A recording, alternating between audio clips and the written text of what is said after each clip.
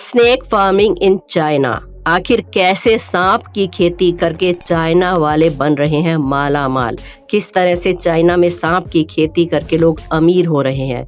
दोस्तों, जब भी खेती की बात आती है तो हमारे दिमाग में अनाज या फल सब्जियों की खेती का ख्याल आता है।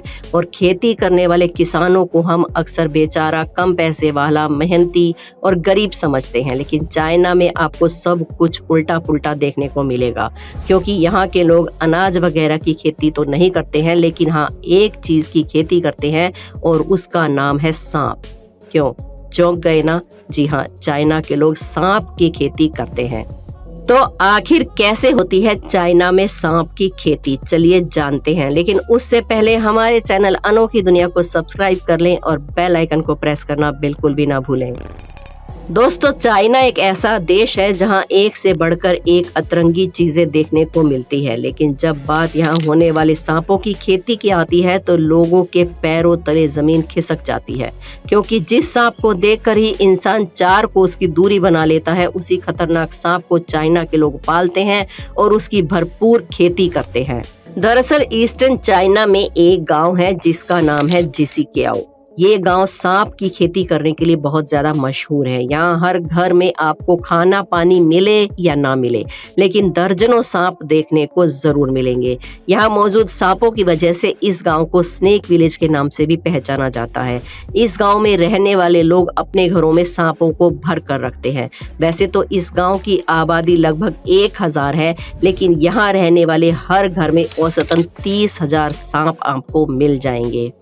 अब आप खुद ही अंदाज़ा लगा लीजिए कि कैसे यहाँ पर हर साल करोड़ों की संख्या में सांपों की खेती की जाती है। आप इस गलत फहमी में बिल्कुल भी मत रहना कि यहाँ पर खेती किए जाने वाले सांप बिना जहर वाले होते हैं। यहाँ पर जितने भी सांप होते हैं, वे एक से एक बढ़कर जहरीले और खतरनाक होते हैं। फिर चाहे अपने वार से लोगों को पागल कर देने वाला पायथान हो, या फिर डंक मारकर हाथी को भी ढेर कर देने वाला कोबरा सांप ही क्यों ना हो। इसके अलावा यहाँ के लोग बहुत सी अलग अलग प्रकार के सांपों की खेती करते हैं। इतना कुछ जानने के बाद आपको अंदाज़ा हो गया होगा कि चाइना का ये स्नेक विलेज कितना खतरनाक है। और इससे भी ज़्यादा खतरनाक बात यह है कि यहाँ पैदा होने वाला बच्चा खिलौनों के साथ कम और सांपों के साथ ज़्यादा खेलता है। यहाँ पैदा होने वाले हर बच्चे के हाथ में खिलौने से पहले सांप थमा दिया जाते हैं। क्योंकि ज़ाहिर सी बात है, घर में जब हज़ारों सांप घूम रहे हैं तो भला बच्चा उससे दूर कैसे कैसे रह सकता है। इतने सारे सांपों को अपने आसपास देखकर, इस गाँव के लोग सांपों से बिल्कुल भी नहीं डरते। उल्टा उन सांपों को डरा कर रखते हैं, क्योंकि उनका कहना है कि अगर इन सांपों से खेती करके पैसा कमाना है तो उन्हें उन पर काबू रखना ज़रूरी है। इसलिए सांपों को अपना दोस्त बना लेते हैं, ताकि सांप उन्हें नुकसान ना पहुँचाए। जिस तरह हमारे यहाँ किसान भाई अनाज को देवता समझते हैं, क्योंकि अनाज ही उनका करता धरता है, ठीक इसी तरह इस गाँव के लोग भी सांपों को अपनी रोजी रोटी मानते हैं क्योंकि उन्हीं की बदौलत उनका घर चलता है, जिस वजह से वो सांपों की बड़ी मदद करते हैं। यहाँ तक कि कई घरों में तो सांपों की पूजा भी की जाती है। अब आपके दिमाग में ये सवाल चल रहा होगा कि आखिर क्यों यहाँ के लोग इतनी बड़ी संख्या में सांपों को पालकर अपनी जान को जोखिम में डालते हैं? जनाब, इस गाँव के लोग सांपों को केवल दिखावे के लिए नहीं पालते, बल्कि सांप के मांस और शरीर के बाकी हिस्सों को बाज़ार में बेचने के लिए सांपों की खेती करते हैं। आपको शायद पता ना हो कि सांप के जहर से लेकर उसके मांस, उसकी स्किन, उसकी हर चीज़ बाज़ार में बहुत ही महँगी बिकती है। और आपको अगर मालूम ना हो तो बता दूँ कि एक लीटर सांप के जहर की कीमत हज़ारों लाखों में नहीं बल्कि करोड़ों में होती है। सबसे ज़्यादा खतरनाक सांप का जहर तो तीन से चार करोड़ रुपए प्रति लीटर तक की दर से बिकता है। अब आप सोच लीजिए, सांपों की खेती करने वाले लोग इससे निकलने वाले जहर से कितना पैसा छापते हैं। और जहर तो छोड़िए, चाइना में सांप के मीट की इतनी ज़्यादा डिमांड है कि उसका आप अंदाज़ा भी नहीं लगा सकते। इस गाँव में रहने वाले लोग भले ही सांप को भगवान का स्वरूप मानते हैं, लेकिन बाकी पूरे चाइना के लिए सांप किसी खाने की चीज़ के अलावा और कुछ भी नहीं है। तभी तो यहाँ पर सांपों को केवल पका कर नहीं खाया जाता, बल्कि उसकी बकायदा सब्ज़ी बनती है, और वो भी इतने अलग अलग तरह की कि सुनकर कान खड़े हो जाएँ। और सिर्फ़ इतना ही नहीं, सांपों से यहाँ दवाइयाँ भी तैयार की जाती हैं। मर्दाना ताकत बढ़ाने से लेकर कैंसर को ठीक करने तक की एक से एक बढ़कर दवाई सांपों के जहर से तैयार की जाती है। यही कारण है कि चाइना के इस गाँव में लोग दिन रात सांपों की खेती करते हैं। इस गाँव में एक या दो नहीं, बल्कि सौ से भी ज़्यादा स्नेक फार्म्स हैं। जी हाँ सही सुना आपने। यहाँ पर लकड़ी और शीशे के बॉक्सेस में सांपों को पाला जाता है।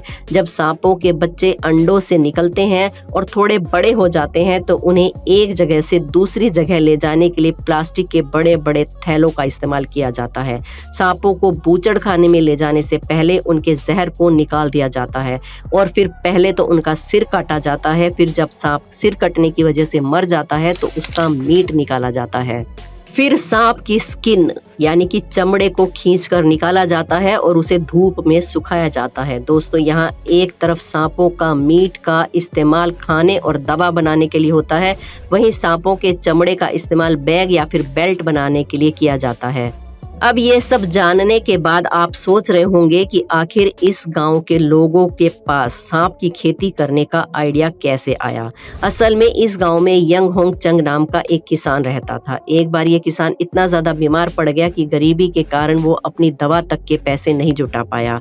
जिस वजह से उस किसान ने अपना इलाज करने के लिए एक जंगली सांप को पकड़ा और सांप से एक दवा बनाकर तैयार कर ली, जो कि खुशकिस्मती से उस आदमी पर असर कर गई और वो ठीक हो गया।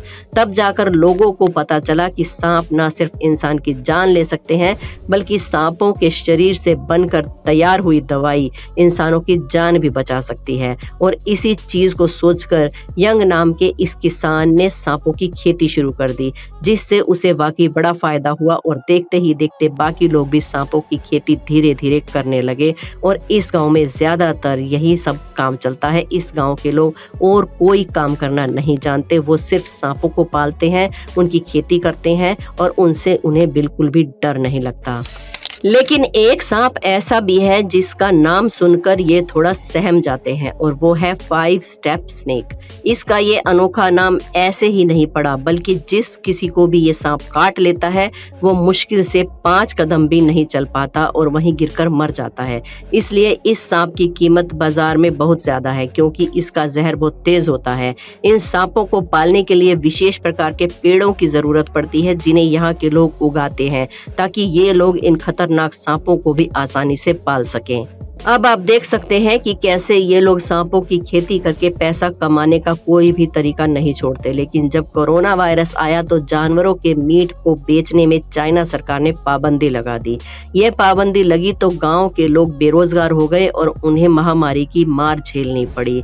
इस गाँव की खेती बिल्कुल नष्ट हो गई। इसके अलावा इन्हें कोई और काम भी नहीं आता। इसलिए इनका बहुत ही बुरा हाल हो गया और सांपों के ढेर को पाल कर बहुत ज़्यादा लंबे समय तक रखना इनके लिए मुश्किल हो गया।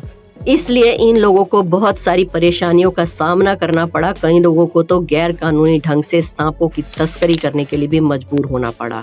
हालाँकि अब हालात बदल चुके हैं, वापस चाइना के लोग दबा कर जानवरों का मांस खा रहे हैं, फिर चाहे वो कुत्ता हो, सांप हो, बिल्ली हो, ये लोग कुछ भी नहीं छोड़ते, सब कुछ खा सकते हैं। हाँ वो बात अलग है। जब से महामारी ने दस्तक दी है, तब से सब लोग कुछ खाने से पहले फूक फूक कर कदम रख रहे हैं। जिसकी वजह से सांपों की खेती में काफ़ी लोगों को नुकसान भी झेलना पड़ा, लेकिन सांपों से बनने वाली दवाइयों की प्रोडक्शन अब काफ़ी बढ़ गई है, जिससे अच्छा मुनाफा होता है। अब आप खुद ही सोच लीजिए, चाइना के इस गाँव में लोग अपना घर चलाने के लिए किस तरह से खतरों से खेलकर इन जानलेवा सांपों को पालते हैं ताकि वो अच्छा मुनाफा पा सके। वैसे दोस्तों, आप ज़्यादा पैसों के लालच में सांप को पाल कर घर में रहना पसंद करेंगे या फिर उन्हें दूर से ही दुआ सलाम नमस्ते करके ही खुश रहना चाहेंगे। अगर मैं अपनी बात कहूँ तो मैं सांपों के साथ एक ही घर में रहना कभी भी पसंद नहीं करूँगी। आपकी क्या राय है? आप हमें कमेंट्स में ज़रूर बताएँ। वीडियो को एक लाइक ज़रूर करें। अनोखी दुनिया को सब्सक्राइब कर लें और बेल आइकन